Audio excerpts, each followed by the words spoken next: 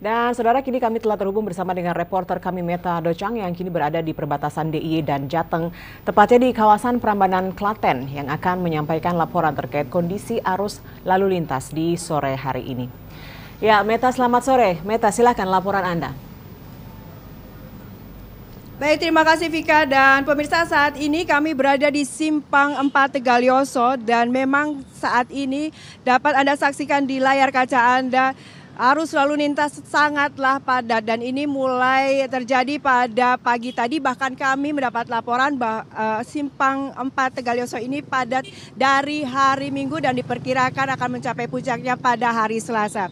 Kami saat ini berada di depan monumen atau Tugu Lurik Kabupaten Klaten dan untuk arus lalu lintas dari arah Yogyakarta menuju Kabupaten Klaten kami pantau ini sangatlah padat dan bahkan pada pukul 7 sampai pukul 15 waktu Indonesia Barat arus lalu lintas menuju daerah istimewa Yogyakarta lebih lancar dibandingkan arus lalu lintas yang meninggalkan daerah istimewa Yogyakarta menuju Kabupaten Klaten ataupun Solo. Arus lalu lintas uh, untuk saat ini pemirsa pada pukul 15 sampai saat ini kami melaporkan dari arah Klaten ke Solo maupun Solo uh, ke Yogyakarta ini sama padatnya dan didominasi oleh eh, mobil-mobil uh, pribadi. Angkutan umum uh, memang tampak namun masih didominasi oleh angkutan uh, maksud kami uh, roda 4 maupun angkutan pribadi. Arus lalu lintas dapat dipecah dari Kabupaten Klaten menuju Yogyakarta dengan memutar masuk ke jalan bypass.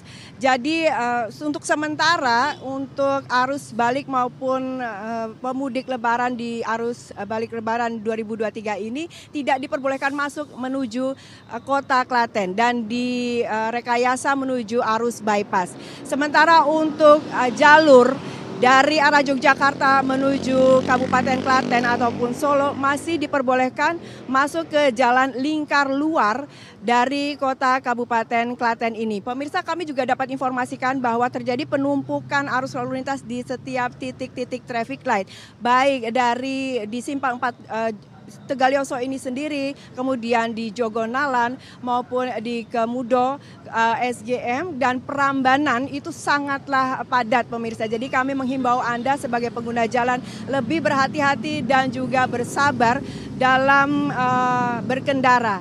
Dan saat ini juga kami laporkan akan uh, turun hujan, jadi jalanan diperkirakan akan lebih licin. Kami mohon untuk lebih berhati-hati lagi beristirahat di posko yang sudah disediakan oleh petugas. Demikian yang dapat kami laporkan dari Kabupaten Klaten. Kami kembali ke studio bersama Vika. Silakan Vika. Baik, Beto Rojo, terima kasih informasi Anda. Selamat bertugas kembali. Kita ke informasi selanjutnya, Saudara. Selama libur lebaran satuan lalu lintas, Polres Gunung Kidul terapkan rekayasa lalu lintas.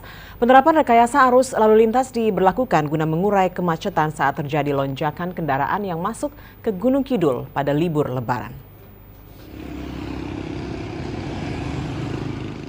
Libur Lebaran, Kabupaten Gunung Kidul menjadi salah satu tujuan wisatawan maupun pemudik yang berasal dari dalam maupun luar daerah. Akibatnya, volume kendaraan diprediksi mengalami kenaikan. Untuk mengantisipasi hal itu, Satuan Lalu Lintas Polres Gunung Kidul melakukan rekayasa arus lalu lintas di titik-titik kawasan yang diperkirakan menjadi penumpukan kendaraan. Salah satu kawasan yang menjadi langganan kemacetan di Jalan Utama Wonosari, Jogja, tepatnya di persimpangan Kapanewon Pato, Gunung Kidul. Kasat Lantas Polres Gunung Kidul AKP Purwanta menyampaikan, rekayasa yang digunakan yaitu sistem one way. Untuk pengendara dari arah Gunung Kidul akan menggunakan kedua jalur jalan. Sementara pengendara yang dari arah Yogyakarta akan ditahan di Simpang 3 Piungan Bantul. Rekayasa lalu lintas ini diberlakukan maksimal selama 30 menit. Nanti sono kiri, Playen, kanan, betas langsung panggilan kelima. Demikian juga nanti yang di eh, Sipang 4 Pelayan Gading itu loh. Trafik itu kanan kan nanti kan uh, jalur baru itu nanti bisa tak mau itu yang mau ke Klaten ataupun Solo. Ya nanti kami patroli kami untuk titik-titik rawan kecelakaan kita efektifkan dengan patroli anggota. Kami kan juga ada tim urai ada terdiri dari 29 orang, kita bagi tiga Penerapan rekayasa one way akan diberlakukan hanya ketika terjadi penumpukan kendaraan. Dengan adanya rekayasa lalu lintas ini, diharapkan wisatawan yang dari maupun ke arah Gunung Kidul merasa nyaman dalam perjalanan.